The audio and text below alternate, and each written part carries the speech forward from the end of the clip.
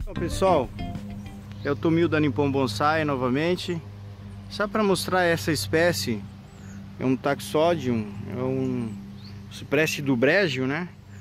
É, na realidade, ele é uma uma planta caducifolha, ele perde todas as folhas nessa época do inverno.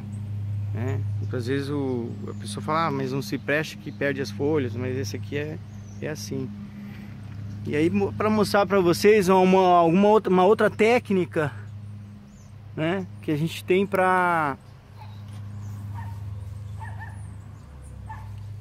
para fazer a tração dos galhos. Tá certo? Então é isso aí, mais uma dica para vocês da Nippon Bonsai. Grande abraço.